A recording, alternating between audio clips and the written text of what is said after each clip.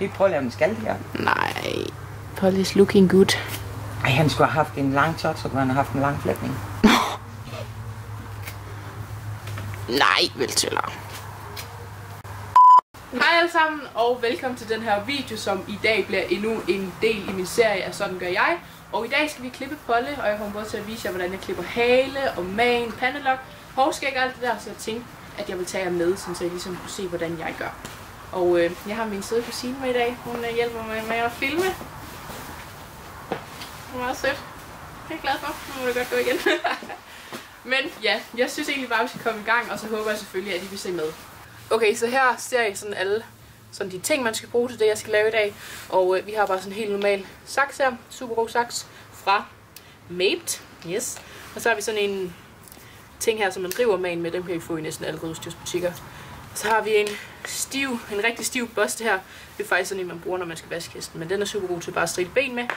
Og så har vi sådan en man børste her, som er super god til at ræge man og hale og så videre.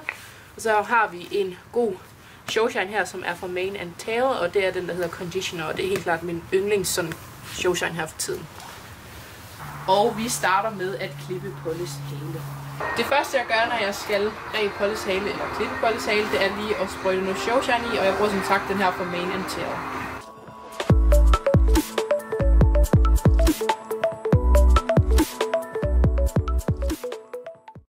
Nu hvor jeg har taget showshine i halen, så vil jeg ellers bare få den ret.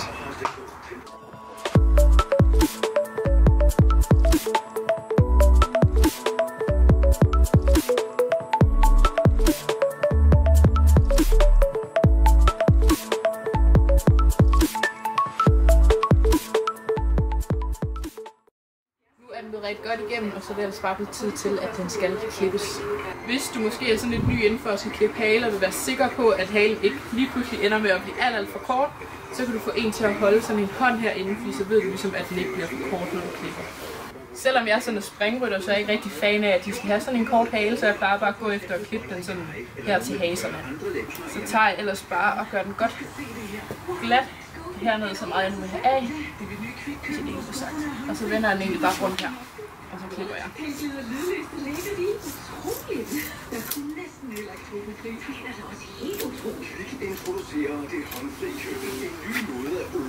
Sådan. Så det var halen. Nu går vi videre til det pandelok.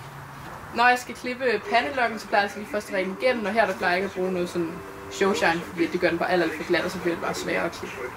Og det samme det gælder også, når jeg sådan skal til at rive man, der bruger jeg heller ikke showshine, fordi det gør det bare sværere.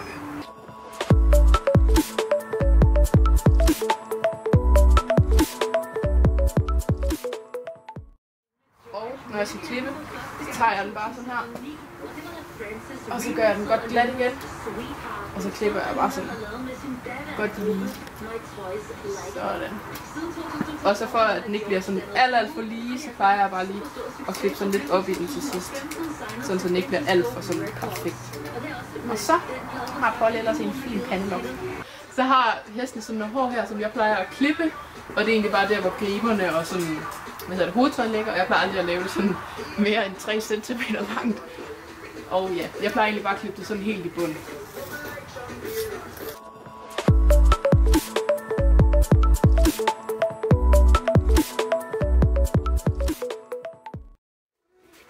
Sådan. Så det var pandelokken, og nu går vi videre til ørerne. Og Polle han kan desværre ikke så godt lide at få klippet ører, så har jeg ikke rigtig nogen klip af det med. Men jeg plejer egentlig bare sådan at klemme øret sammen, og så klippe de hår, som sådan stikker ud af øret, hvis det sådan giver mening. Det håber jeg. Men lad os så i stedet bare komme i gang med hårskægget. Jeg plejer altså lige at få det sådan børstet godt igennem, så der ikke sidder noget mudder i.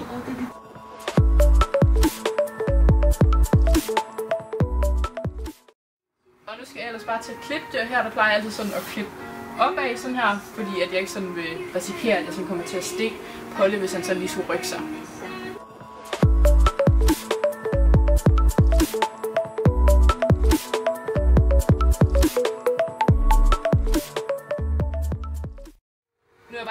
den anden side, fordi så kan det godt være lidt lettere, når man sådan skal klippe op her. Og så hernede for enden, der plejer jeg bare sådan at køre ind og så klippe det, som jeg sådan får med. Som jeg kan se.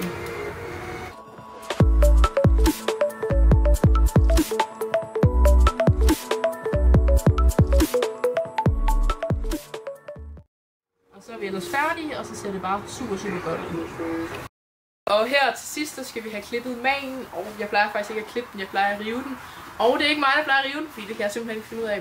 Det er min mor, der plejer at gøre det for mig, så jeg vil i hvert fald bare lige prøve at vise jer, hvordan hun gør. Og når jeg skal klippe, eller når min mor hun skriver magen, så plejer jeg altså lige at rene godt igennem først.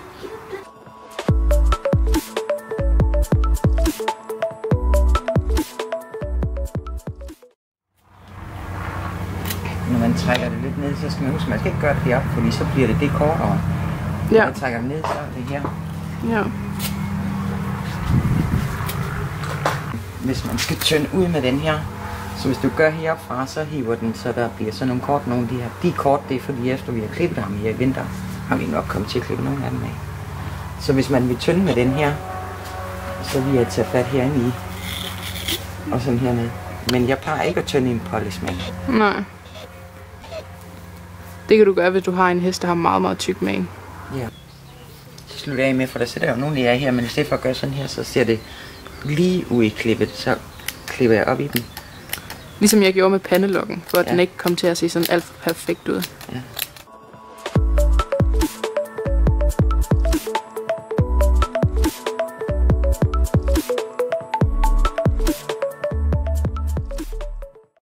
Men det var egentlig alt for den her video. Jeg håber rigtig meget, at du kunne lide at se med, og selvfølgelig vil give den et like. Og ses vi egentlig bare i min næste video. Hej hej! Moving like the speed of sound. Feet can't keep on the ground.